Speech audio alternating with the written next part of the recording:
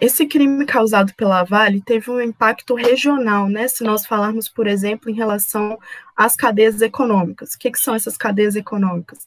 São as atividades produtivas é, interligadas é, pro, é, que as pessoas exerciam antes desse crime. Então, por exemplo, relacionados à agricultura, relacionados ao turismo, e nós sabemos que relacionados ao turismo há uma grande gama de, de atividades produtivas. Então, as pessoas, na verdade, às vezes é, exerciam atividades relacionadas à agricultura, à pecuária, à, à prestação de serviços, que muitas das vezes eram informais e foram desmantelados, foram acabaram não existindo mais a partir desse impacto brutal, né, ambiental, mas também social e econômico. Então, isso gerou um impacto muito grande em relação à renda das pessoas, mas também em relação à economia local.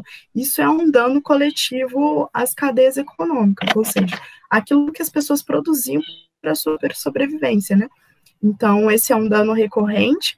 Outro dano recorrente é a relação com o rio, né? Nós sabemos que esses danos são separados para facilitar né, o direito a entender, mas essas coisas estão correlacionadas. Então, a relação com o rio é, dificulta a questão da saúde, a saúde mental, a saúde física, que era integrada né, com essa relação com o rio, dificulta as cadeias econômicas, dificulta a venda do peixe, dificulta, é, inclusive, o turismo na região. Então, esses danos, na verdade, são, são interligados. Né?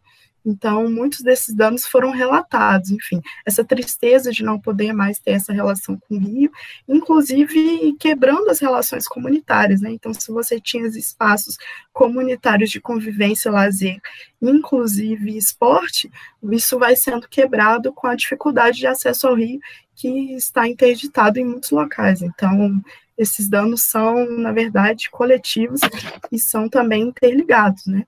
Uma coisa está ligada à outra para a vida das pessoas atingidas. Na vida, na realidade, as coisas estão juntas. Então, muitos desses relatos é, que as pessoas atingidas trazem foram colocados no documento e destacados. Esse relatório só foi possível a partir dos relatos que a gente obteve.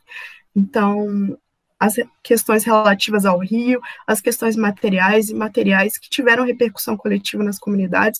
Nós sabemos que muitos deles são coisas repetidas, né, que tiveram várias pessoas tiveram o mesmo impacto, o mesmo dano.